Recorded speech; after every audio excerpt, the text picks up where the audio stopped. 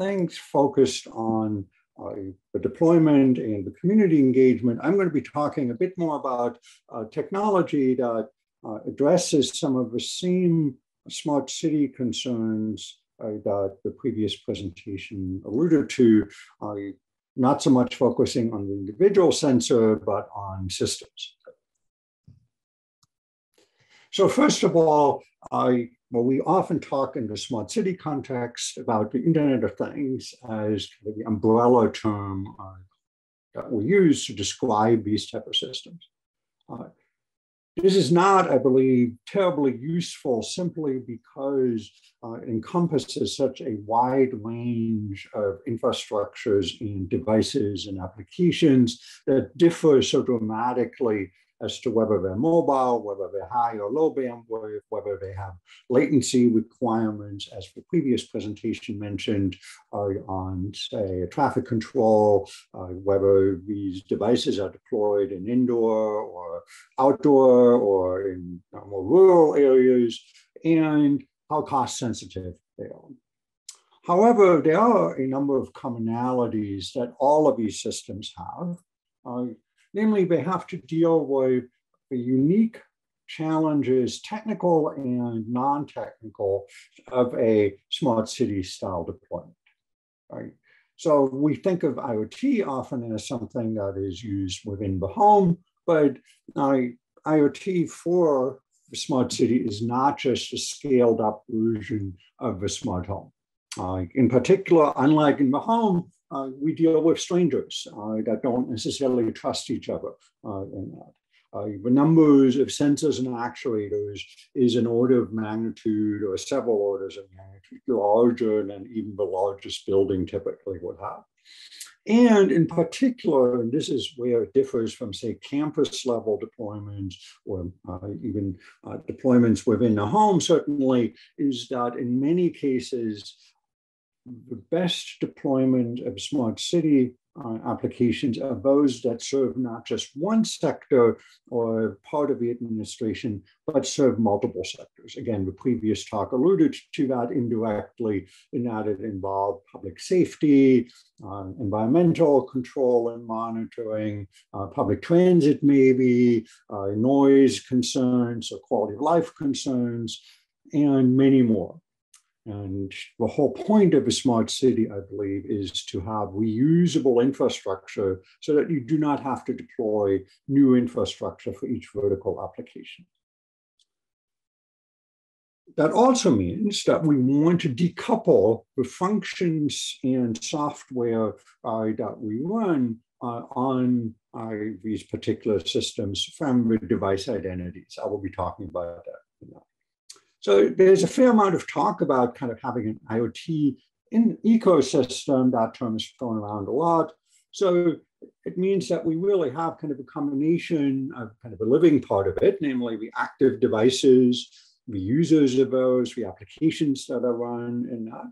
And then we have some non-living components uh, in that that just are more descriptive. So the entities and attributes, and they interact as a system uh, in the sense that they communicate with each other. So maybe that label is a reasonably good um, approximation, but we have to look at the whole system, not just a component.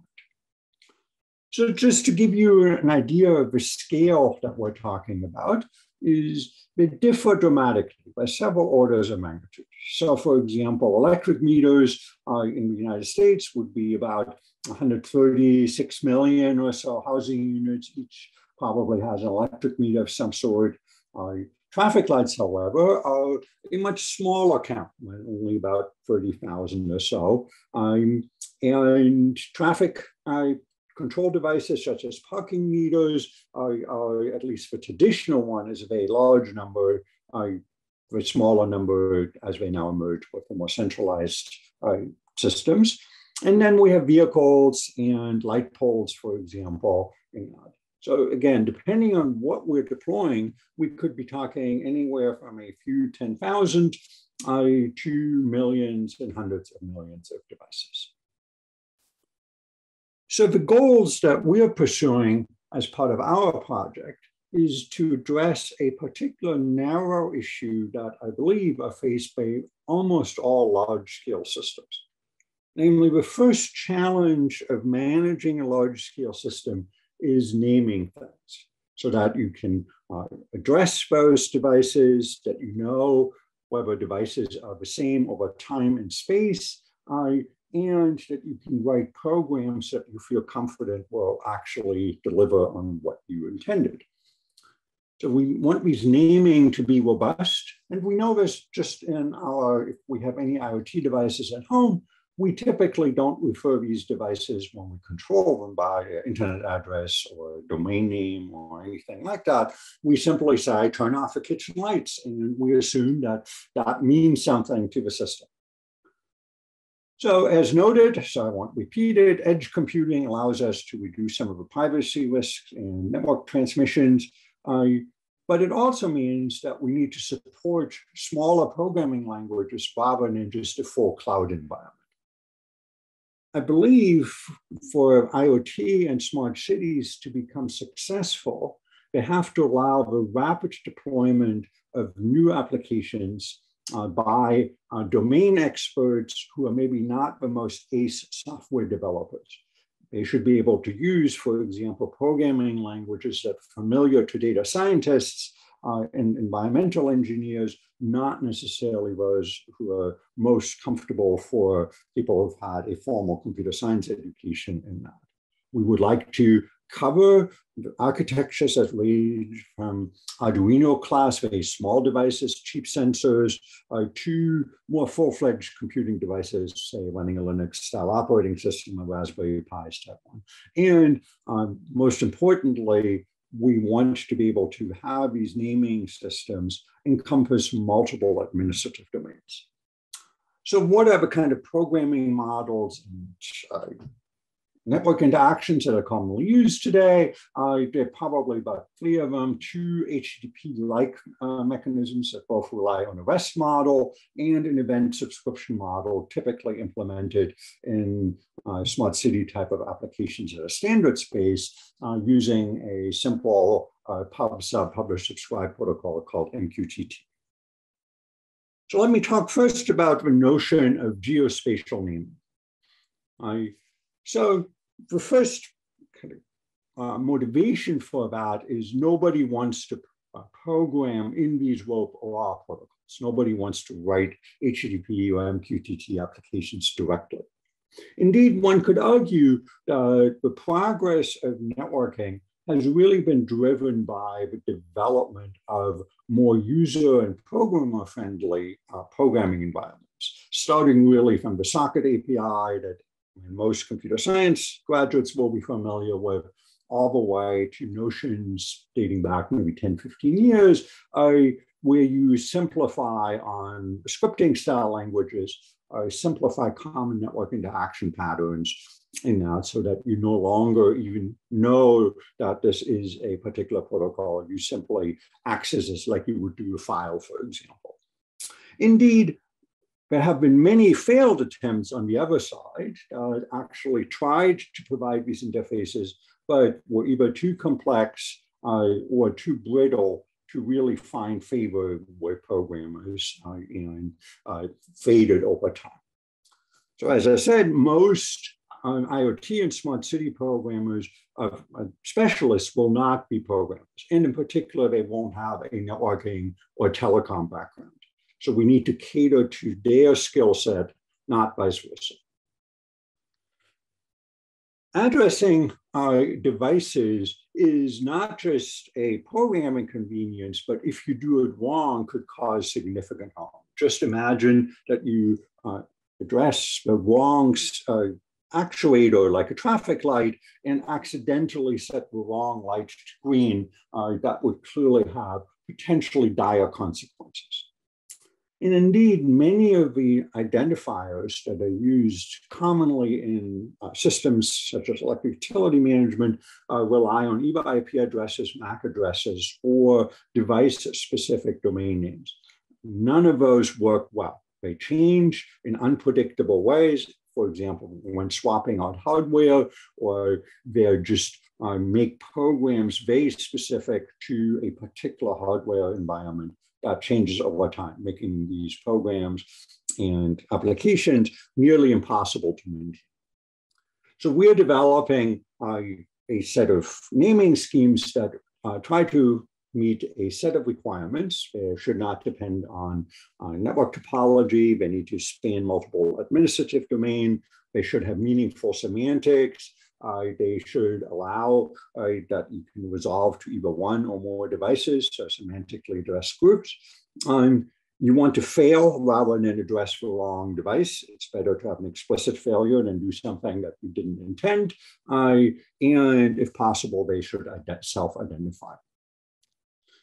And this is even a problem uh, at the very much smaller scale. So this is the notion of when you change a device, suddenly your in-home routines have to change. Uh, namely, you have to now suddenly change all these programs that you wrote even within a single home. So this problem, problem appears well before you reach uh, smart city scale. So we've been using directory models to provide IEB this functionality. So we add a, a, level of indirection so that query the directory of various sides to get uh, the devices so that the program never actually interacts directly with the directory. So there's a single source of truth, if you like, to map devices to programmer visible identifiers. Again, uh, we often rely on names that are geographically based simply because in the smart city, most of the sensors have a geographic scope. Again, they're typically displayed on a map for that reason. Uh, so this is a very natural way of addressing devices and incorporating those into a program independent of the hardware situation and independent of, say, changes in device and not. So how do we get these type of names and maps and that? So we've been exploring uh, for broad classes of devices. So Google Maps are very popular for kind of hobbyist type of ones because they uh, have a relatively easy to use programming interface, but they cannot easily be modified. Uh, OpenStreetMap has assumed a new uh, prominence simply because it is more readily amenable uh, to additions to the underlying mapping database, for example. But generally speaking, for example, it only offers a 2D version, uh, unlike Google Maps, which often now has a, a floor level description of public buildings. And complementary to that are building information management systems, uh, which also incorporate often the dimension of time, namely you can track as to how the building has changed over time, and then more informal floor plans, which are used for all kinds of applications from safety uh, to energy management. So as one uh, simple application, we have been uh, on the indoor side of things, have been translating informal low resolution floor plans, such as what you typically find near, say, an elevator or an escape route type of designation uh, in that, into OpenStreetMap so that they can be overlaid on and oriented on top of that map. Go through a set of steps to then translate uh, these informal maps, uh, low, relatively low resolution, but available for many even older buildings uh, without having to go to the architect into uh, the OpenStreetMap environment. So we can create a GeoJSON object uh, that we then align and translate into that. And so now every uh, device, if it's a room level device, now uh, also acquires derived longitude and latitude information, which can then be used on larger maps that go beyond a building.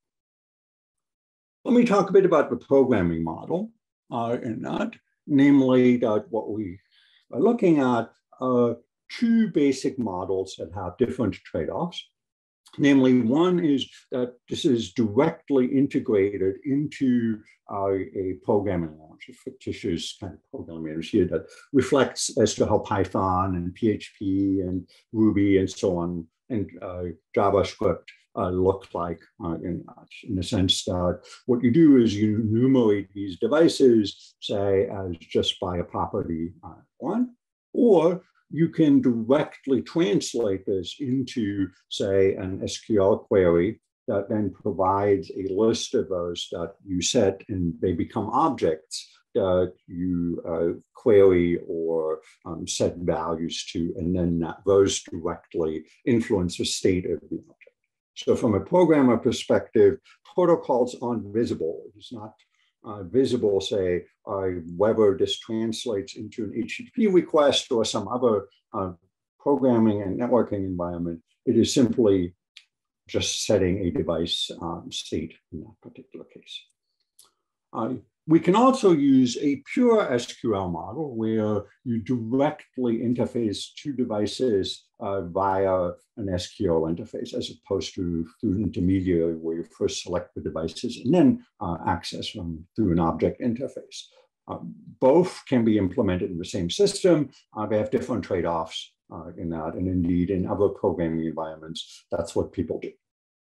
So we've been building uh, the second environment, I call SenSQL, and a, a, query language for sensors based on uh, geographic SQL uh, that presents an SQL interface to large-scale IoT uh, applications.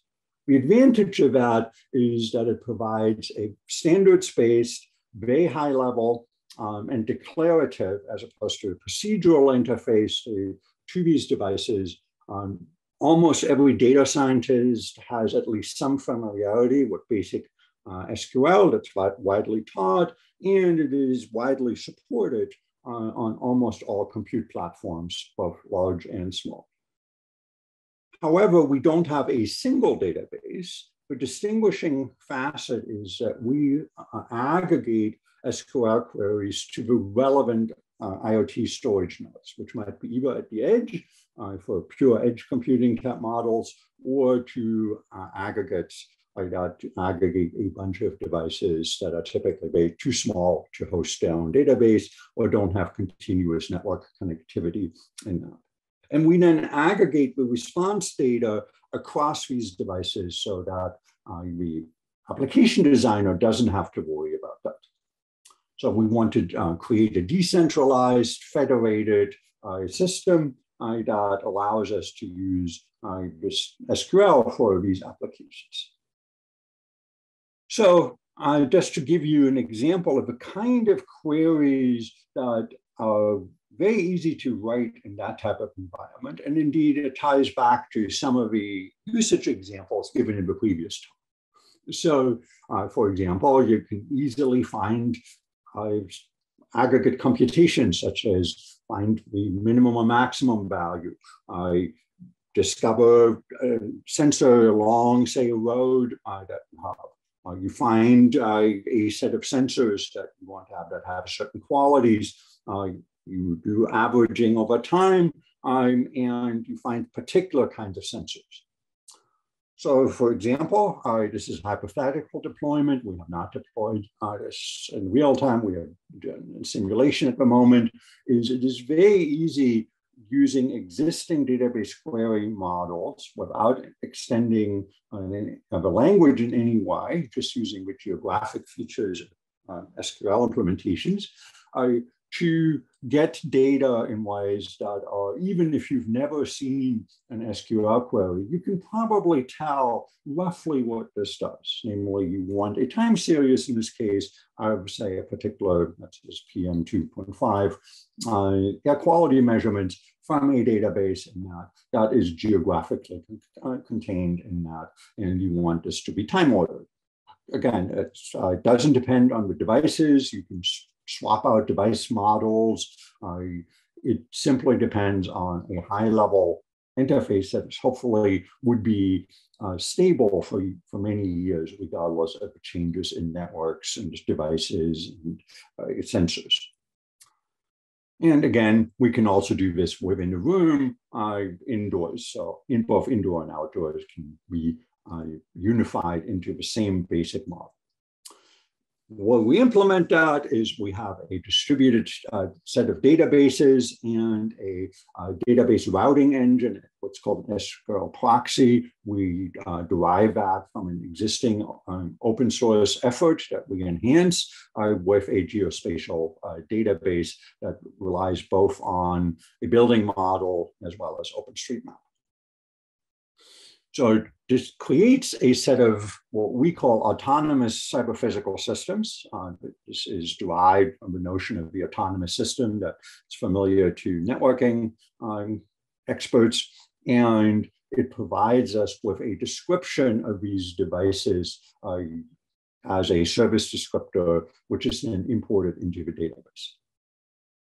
And we built a uh, system that allows us to publish those through a registrar uh, so that new devices can automatically uh, find those uh, particular services without having to explicitly be made aware of those. Again, we have built a prototype service uh, which implements these. So these are the screenshots uh, of a simulated system at the moment uh, that creates these type of interfaces and provides responses. So what are some of the future uh, opportunities uh, for that? So currently, uh, we have been uh, building this primarily for selecting um, system, uh, query type of one, so select data that. However, SQL also offers the opportunity to provide a update insert type of activities where you can actually have a notion that you would do a timed update. So for example, it is very natural to express uh, an update into a timetable, even if that is in the future, so that you would say you would set this actuator, say for temperature 1 to 21 degrees Celsius for a particular time of day. Uh, and that's you insert that into the table, and that automatically triggers an, an update uh, in that region, say, to that particular value.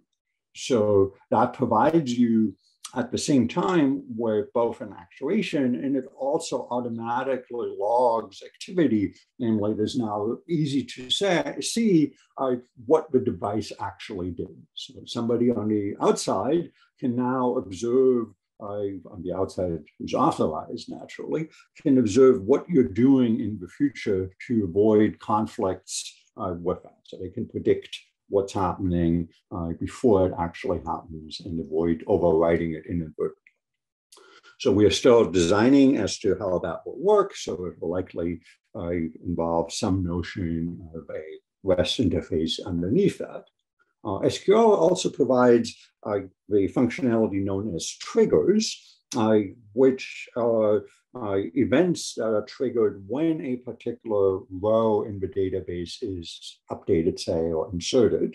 So almost all databases of any size support that, and it's often used to create larger applications. This ties very naturally to the very commonly used uh, notion of MQTT events, where you could subscribe to those and those then uh, create a trigger in the database. In the last few years, there has been a lot of interest in creating what are known as time series databases. So, so far I've emphasized primarily the notion of space, uh, but there's also been an interest in better supporting notions of time. So these are typically used for very large scale data sets that have a strong time component, often streaming data. But that matches almost perfectly many of the sensors that we would use in a smart city. Uh, so these type of databases are optimized for aggregating uh, time-based uh, data items, elements into aggregate information so that you can derive insights into that through time series analysis uh, in that that would be hard to do uh, otherwise. And so there's a number of commercial and open source efforts that allow you to do that. And so uh, rather than uh, just simply feeding the data into that, maybe that should be the primary interface for many type of sensors that have a strong uh, sensor database for uh, sensor measurements. This would not be suitable, for example, for a video um, type of application. So again, uh, wrapping up uh, the discussion, uh, we believe that thinking about the interaction with sensors is becoming increasingly important as we move from prototypes to large scale systems that indeed span the whole city, span multiple administrations, administrations uh, span uh, long time scales of deployment, not just a duration of a research project. There has been a lot of work on at the networking level, on application layer and even lower level uh, network protocols to support these applications, but generally they have focused on the protocol level. Uh, they assume that these devices are directly addressable. Uh, they sometimes have query languages, but they don't generally take into account as to how you manage these large agglomerations of hundreds, thousands, tens of thousands of sensors uh, that slowly evolve over time. Thus, it is time to think beyond these type of protocols and see what is the next layer of integration.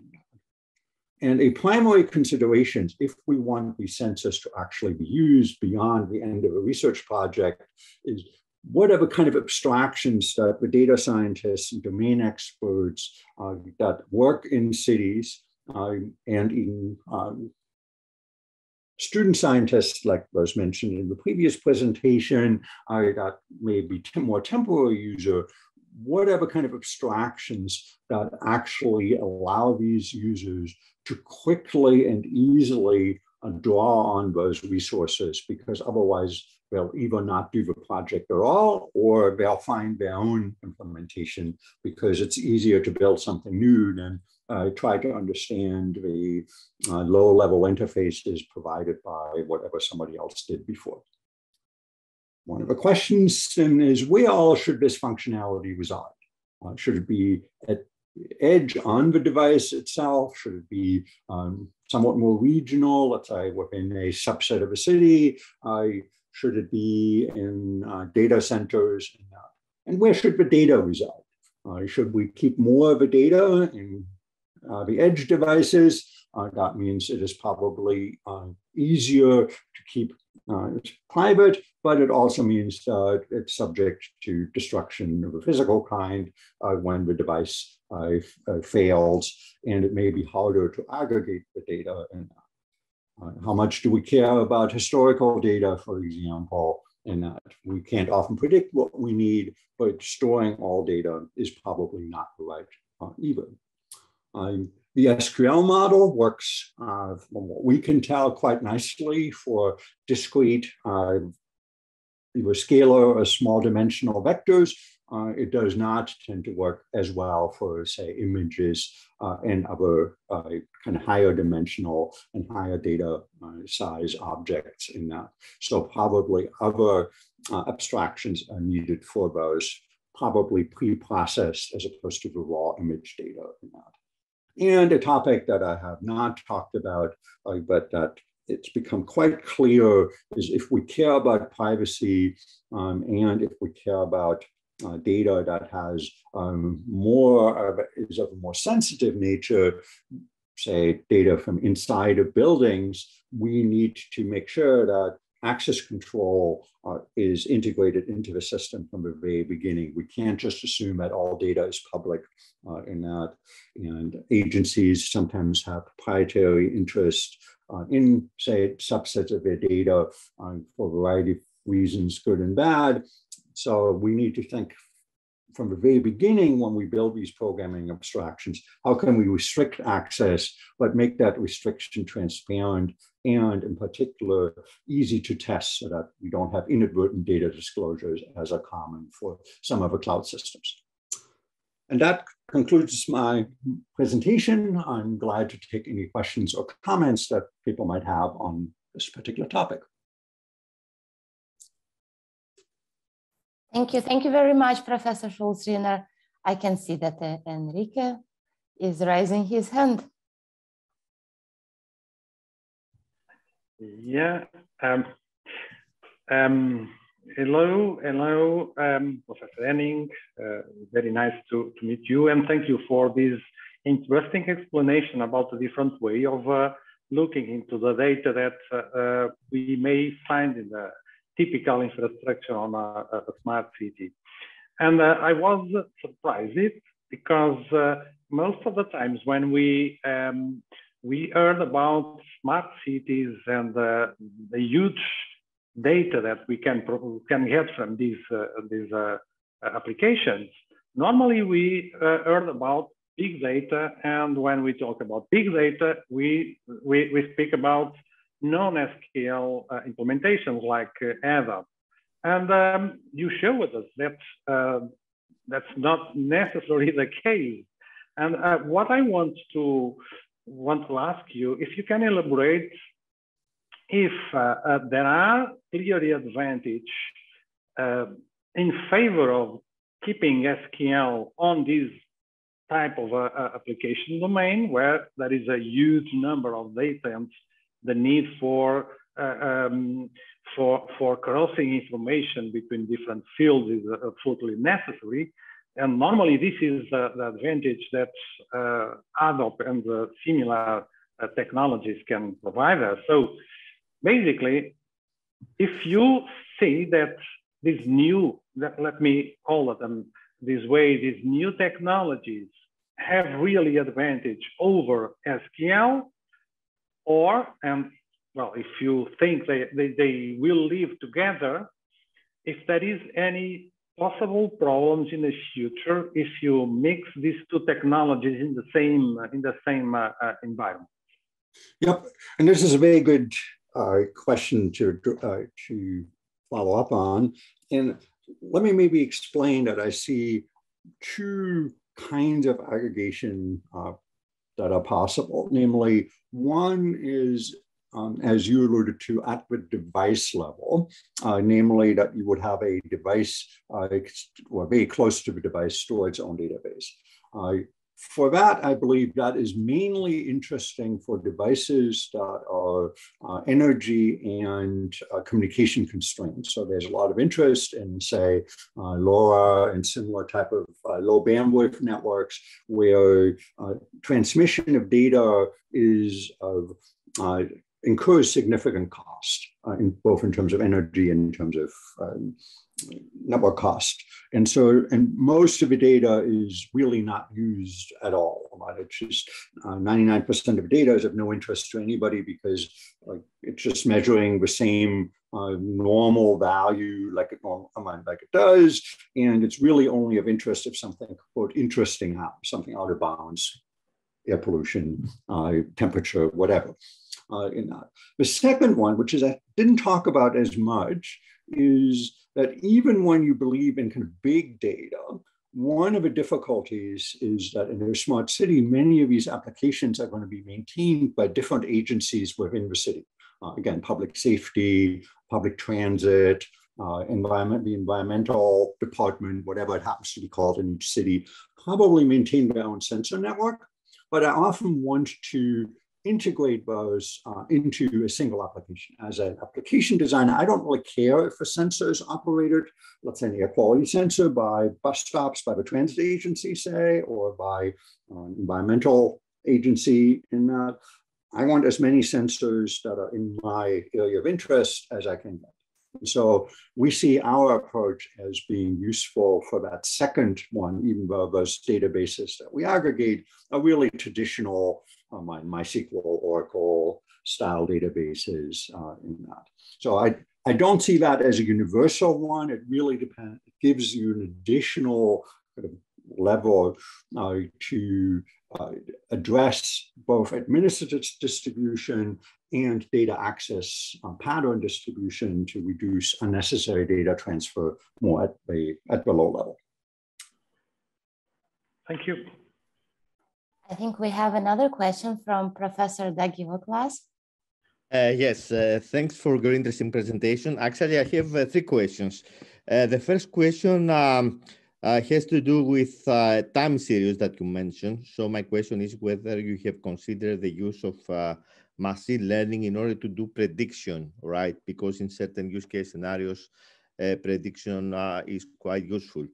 Uh, the second one is uh, whether for this uh, uh sensor SQL we have uh, considered uh, use case scenarios associated with geofencing and um, real-time positioning and tracking indoor in a complex building. And the third question has to do with privacy and security. Thank you. Okay, uh, a lot of good questions. Let me see if I can get uh, to those um, short time. Uh, so I, privacy, I'll start with that. Um, the privacy and security one, yes, this is a uh, clearly a major concern. Um, and this is, I alluded to that. Uh, I didn't have time to present that. We've been looking at exactly what you described, namely geofenced access in that. So we believe that actually integrating uh, the geo component into the database, either as a separate directory of devices or directly into the, the data part of the device, makes it easier to do uh, geofenced style applications.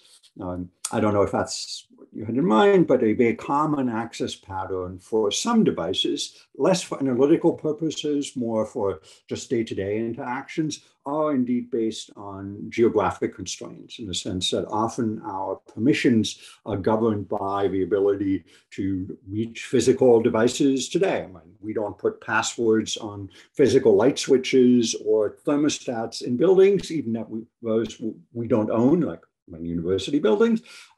If you are in a room, um, if you made, if you gained access to the building, you typically can turn the lights on and off, and you might even be able to adjust the temperature and uh, raise the blinds or whatever. Uh, and so we anticipate similar models of geofence access uh, to that as well. And we have a parallel effort uh, as part of this project that looks exactly at the kind of geofencing and that. The privacy one is, and this is part of the access control um, aspect that I didn't talk about, is that often um, access control is actually more complicated than simply saying, yep, you can access a sensor or no, you can't. So to just to give you an example in the indoor context is you could imagine that real-time occupancy occup uh, data for a room would be considered sensitive because you can uh, detect whether the room is occupied and you might worry that a criminal might use that, say, to scope out a place and see where would be good, when would be good opportunity uh, to, to steal some equipment from a university lab, just to take a university example uh, in that. But Historical information or aggregate information might be far less sensitive. So you might, uh, because it may not allow you to derive direct information about uh, the behavior or actions of a person right now. So for example, historical traffic data uh, about vehicles, I, again, this was shown in one of the example of the PAF data that is anonymized might have far lower thresholds of privacy concern in. So one of the ways that we envision that in part of the SQL model is that certain operations uh, might be less restricted uh, than others, particularly ones that aggregate data as opposed to do real-time queries. Uh, and we also envision that, uh, for example, certain um, applications might want to restrict the frequency of querying, again, because you might often be able to derive information about, say, a personal behavior by repeatedly querying for individual data, say, again, occupancy data. Uh, you can get a pretty good notion of how people move by repeatedly querying uh, multiple occupancy sensors in rapid succession. Uh, so we, in our model of access control, we restrict that level of access control. But these are clearly things that should be built into the system uh, and integrated into the design from the very beginning so that uh, we can make expose that uh, to the system designers in a way that they can reason about, that they get reasonable feedback when they try to do that, and that they can access devices that they actually offer us to, to um, access as opposed to uh, making that a failure scenario later where they get a thousand devices, but almost none of them are actually accessible. That serves nobody. Thank you.